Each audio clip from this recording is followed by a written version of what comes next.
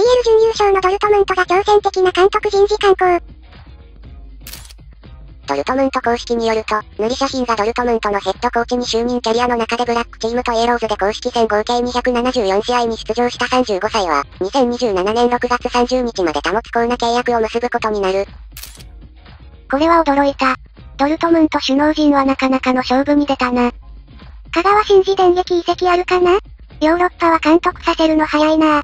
日本も見習ってほしい。フンメルスもいなくなってしまうのか寂しい。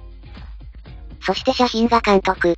シャヒンについて今更驚くべき事実を知った。応援するわほんと今更。